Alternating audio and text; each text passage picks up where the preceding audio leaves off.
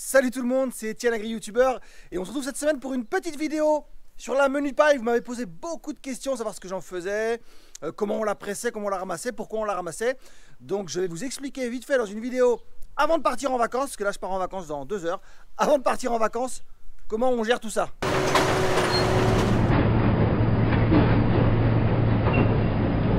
Avant ça, petit retour en arrière rapide sur bah, comment on la récupère. Vous l'avez vu sur les vidéos de la moisson, il y avait un gros caisson derrière euh, la moissonneuse batteuse, la New Holland.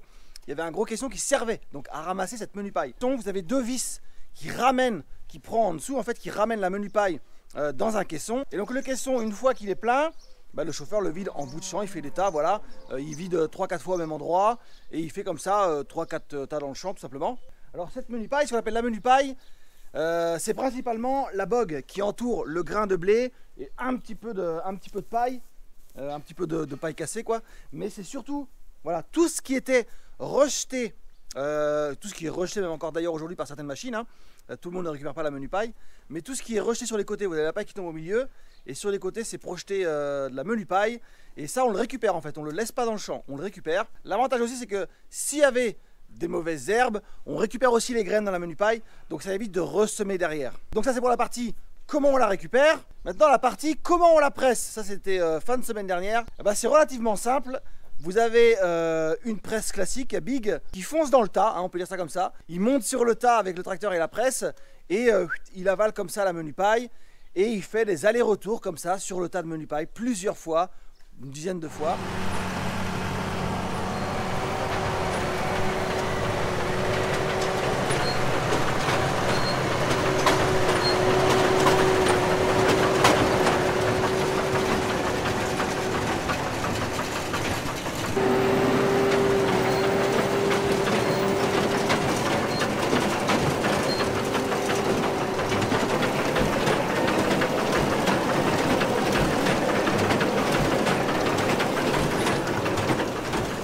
Ce temps-là, donc on avait Joris sur le 6000 avec euh, le soleil pour ramener à chaque fois, parce que ça étale sur les côtés, donc pour ramener en andin à chaque fois la menu paille.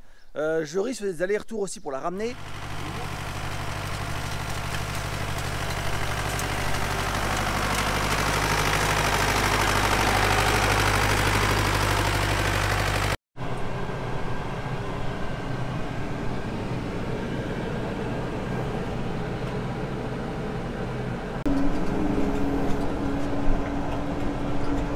Moi, avec le télescope, je m'occupais de les récupérer, les bottes, au fur et à mesure, parce qu'elles tombent sur le tas de money paille.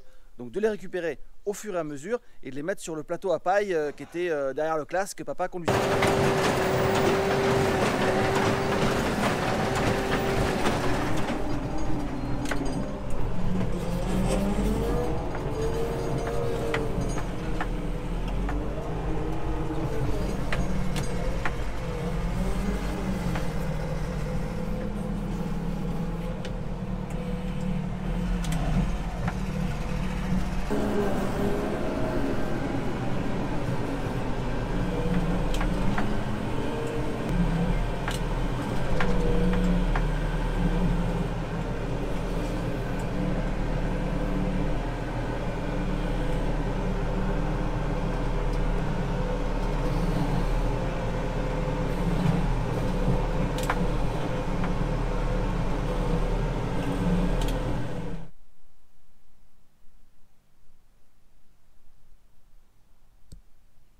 Alors cette année, euh, la menu paille c'est très spécial. Hein.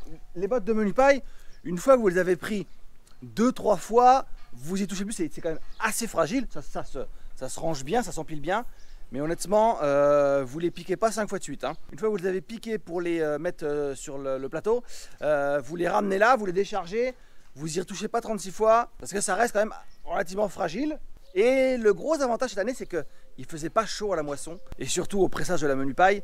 Donc la menu paille se presse bien quand il fait pas trop chaud. S'il fait hyper chaud, hyper sec, hyper euh, beaucoup de vent, en fait, la menu paille c'est quasiment impossible à presser, c'est très compliqué à presser.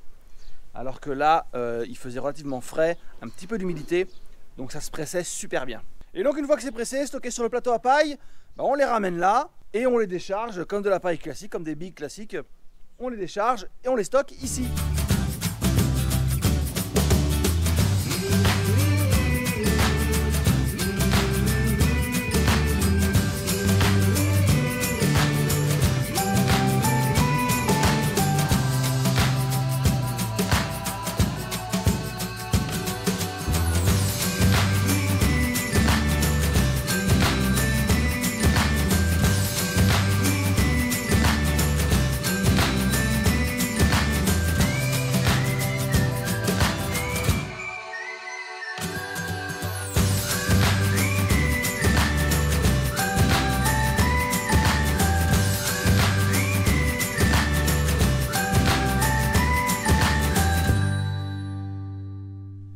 Menu paille qui est stockée euh, ici, qui logiquement restait, restait dans le champ hein, d'habitude, hein. on en récupère à peu près en fonction des années entre 1 tonne 5 et 2 tonnes 5 par hectare, donc ce qui est pas négligeable. Surtout que cette année c'est une bonne année donc il y en avait pas mal. Et en fait ça sera euh, retourné en fumier dans le champ. On peut imaginer que c'est la matière organique qui est euh, prélevée du champ et qui n'y retourne pas, mais non ça fait comme la paille, ça va servir de litière pour les genisses ou pour les veaux, donc ça va retourner en, fumier dans le champ. Voilà, j'espère que ça a répondu à toutes vos questions sur la menu paille.